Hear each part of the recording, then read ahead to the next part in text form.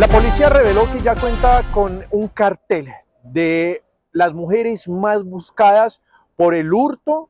de personas utilizando benzodiazepinas, una clase de fármacos que lo que generan cuando se le aplica o se le disuelve en alguna bebida a una persona es que le genere un estado de somnolencia y también que pierda la memoria momentánea.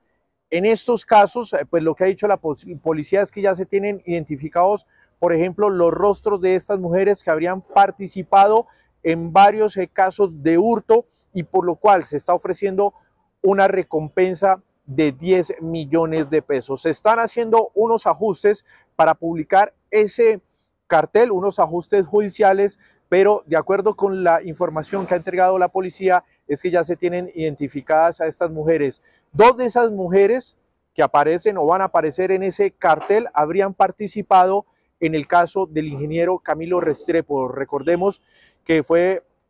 una persona a la que le habrían suministrado esa clase de fármacos y posteriormente bajo su condición de desorientación, de desubicación que le generó el haber consumido precisamente estas benzodiazepinas que están en proceso también de identificar cuál fue, cuáles fueron las que le suministraron, posteriormente fallece luego de que fuera atropellado por un vehículo. Sobre este caso y sobre ese cartel se pronunció el, comandante de la Policía de Bogotá, el general Eliezer Camacho.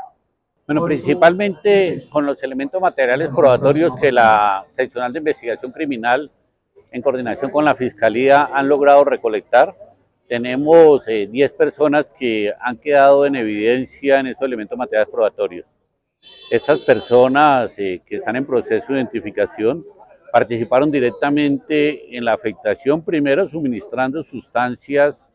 tóxicas a los ciudadanos, pero igualmente posteriormente en el hecho de cometer hurto y otras afectaciones a su integridad. De igual manera, el oficial eh, agregó que en este momento no se puede hablar de que en Bogotá existan grandes organizaciones delictivas dedicadas a esto, que son personas que en algunas eh, ocasiones trabajan en pequeños grupos que perfilan a sus víctimas, por lo general, o en un alto porcentaje en establecimientos comerciales como son bares y discotecas, se ganan su confianza y luego pues proceden a suministrarle estos fármacos para someterlos a su voluntad.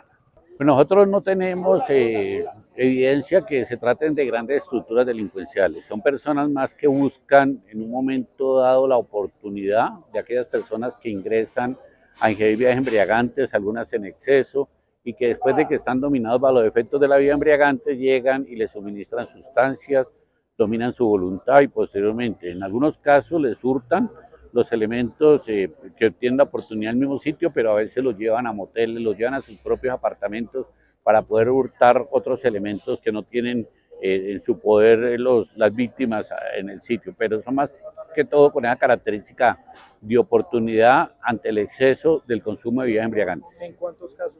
Hay que mencionar que según estadísticas de la propia Policía de Bogotá, en lo corrido de este año ya se han presentado más de 600 casos de hurto a personas en donde se ha utilizado el mismo modus operandi, suministrarle benzodiazepinas a sus víctimas para poderlos reducirlos y obligarlos a que se entreguen eh, los celulares, billeteras, también elementos de valor y en algunas otras ocasiones se van hasta sus casas, supuestamente con la excusa de seguir eh, la noche, el momento de fiesta, allí los eh, duermen y les roban sus pertenencias. Casos que siguen siendo en este momento materia de investigación.